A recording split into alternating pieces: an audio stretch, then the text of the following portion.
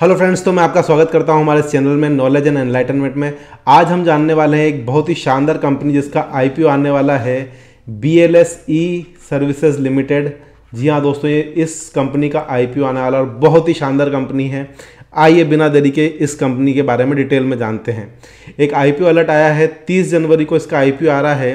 B L S E services IPO is a book build 310.91 crore this issue is entirely fresh issue of 2.3 crore shares तो 2.3 crore shares जो हैं fresh issue share हैं और 310 करोड़ का एक छोटा ही आईपीओ आने वाला है।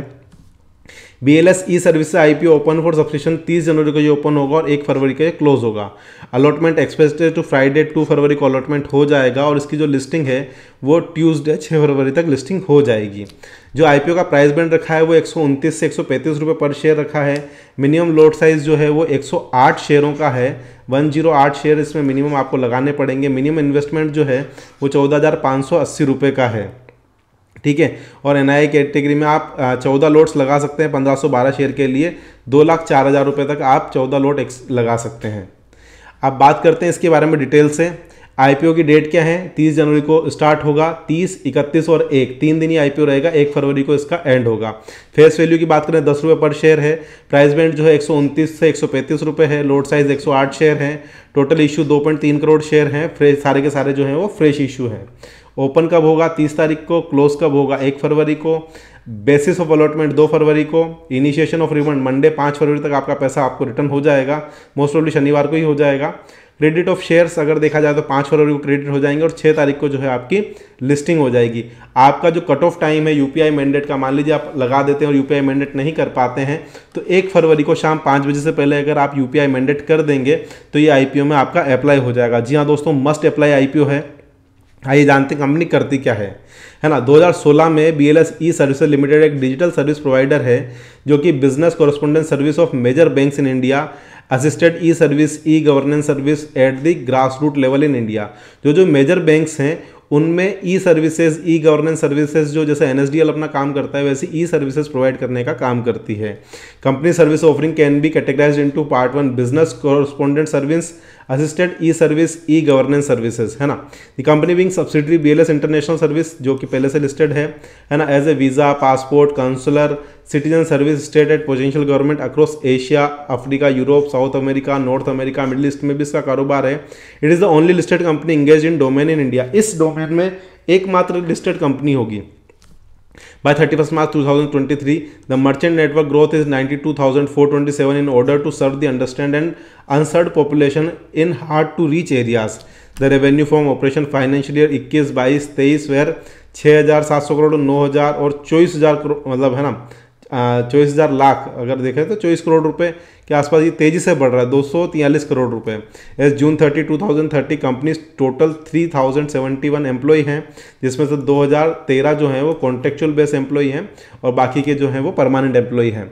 आइए दोस्तों इसके बारे में और जानते हैं फाइनेंशियल इन्फॉर्मेशन की बात करें तो तीस सितंबर 2023 को एसेट जो हैं दो सौ तेरह करोड़ के हैं। मार्च में एक सौ नवासी करोड़ के थे, इकतीस, पचपन करोड़, इकतीस मार्च 2021 में 40 करोड़। तो आप देखेंगे 2021 से कंपनी लगभग पाँच गुना हो चुकी है। रेवेन्यू भी कंटिन्यूस बढ़ रहा है इसका। लास्ट क्वार्टर से थोड़ा सा रेवेन्यू सेप्टेम्बर क्वार्टर में कम रहा, लेकिन उसकी तुलना में देखा जाए तो कंटिन्यूस जो है इसका बढ़ रहा है। लास्ट क्वार्टर में थोड़ा प्रॉफिट भी इसका कम था। नेट वर्थ जो है 120 करोड़ रुपए की इसकी हो चुकी है। टोटल बोरोइंग अगर सबसे अच्छी बात क्या है, जो बोरोइंग है इस कंपनी के ऊपर, वो ज़ीरो बोरोइंग है मतलब उधार नहीं है तो ये कंपनी बहुत ही अच्छी कंपनी है। ठीक है? इसने 2000 मतलब बोल सकते हैं कि इकतीस बाय डेढ़ सौ परसेंट का प्रॉफिट जो है, और पीएटी प्रॉफिट आफ्टर टैक्स जो है 277 परसेंट इसका रोज हुआ है। मतलब कहने का मतलब बहुत ही शानदार कंपनी है ये। रिटर्न ऑन इक्विटी देखा जाए तो 33 पॉइंट तैंतीस परसेंट है। रिटर्न ऑन सी आर जो अगर देखा जाए 30 परसेंट है। Debt to equity zero point zero पाँच percent R O N W जो है इसका सोलह पॉइंट छियालीस percent, profit to book value जो है इसकी वो प्राइस टू बुक वैल्यू जो है इसकी सेवन पॉइंट टू है।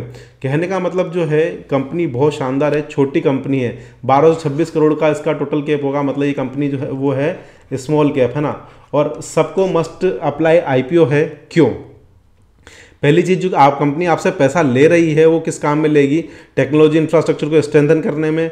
Fund initiative for organic growth by setting BLS stores, achieving inorganic growth through acquisition और जनरल कॉर्पोरेट पर्पस। तो एक्विशन करेगी जनरल कॉर्पोरेट पर्पस से यूज़ करेगी ग्रोथ को बढ़ाएगी न्यू कैपेबिलिटी और इंफ्रास्ट्रक्चर को करेगी।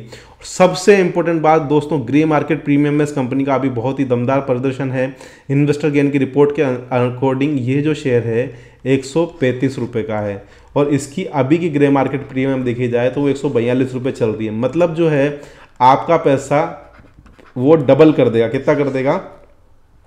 डबल कर देगा। मतलब लगभग लगभग अगर हम देखें तो 115 परसेंट का रिटर्न हमें इस कंपनी में देखने को मिलेगा। अगर आप इस कंपनी में लगभग चौदह हज़ार सौ अस्सी रुपये लगाते हैं तो कम से भी कम जो आप इसका उन तीस हज़ार रुपये के आसपास आपका ये ओपन होना चाहिए। अभी जो इसका ग्रे मार्केट प्रीमियम शो कर रहा है मतलब ये दो सौ सतहत्तर रुपये के आसपास जो है कंपनी बाज़ार में लिस्ट हो सकती है और पहले ही दिन निवेशक का पैसा दुगना हो सकता है।